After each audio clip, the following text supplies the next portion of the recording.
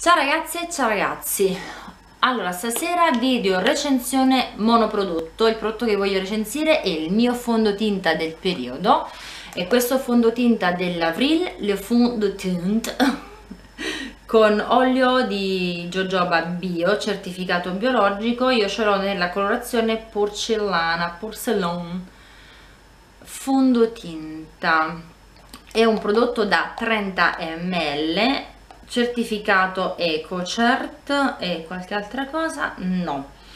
Allora è un prodotto, leggo perché Uh, lo sto usando da un po', ho fatto diverse prove come faccio sempre quando provo un fondotinta allora è un prodotto molto leggero di norma cerco di non tenerlo mai in questa posizione ma così sulla mia vanity perché um, ora lo apro e vi faccio vedere tutto si accumula, è molto leggero quindi si accumula prodotto, scivola prodotto, ecco qua, non so se avete visto si è sporcato anche tutto qua, ne approfitto per farvi vedere il colore. Allora, rispetto al mio incarnato, forse porcellana, porcelain è un pochino troppo rosa, ma non tantissimo. Il tono chiaro è adatto al mio incarnato, mi ci voleva una punta più gialla però non ho stacchi strani tra viso e collo. Questo è il prodotto. Ha una copertura molto leggera non è un fondotinta pesante anzi come avete visto è molto liquidoso.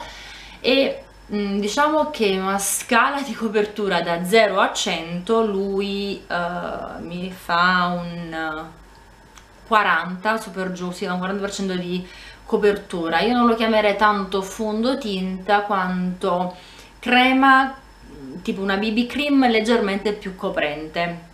Non è un fondotinta, per me il fondotinta, anche se leggero, di texture leggera, mi deve almeno coprire da solo, senza correttori, il 60% delle mie discromie. Lui arriva al 40% però ovviamente correttore eccetera si riesce a uscire di casa in modo decente.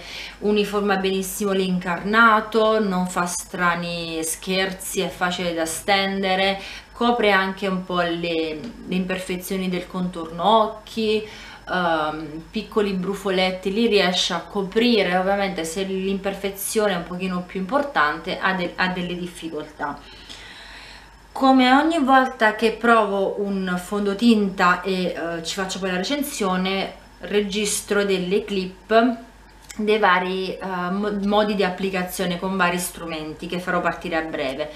Già vi dico ora poi ci vediamo dopo le clip che il mio modo ottimale per stenderlo visto che è così fluido ed è facile da stendere con le mani è come mettere su una crema faccio un piccolo puntino qua, uno sul naso e sulle guance, eventualmente ne sento l'esigenza leggermente nella zona esterna, tiro tutto e fisso e sono pronta.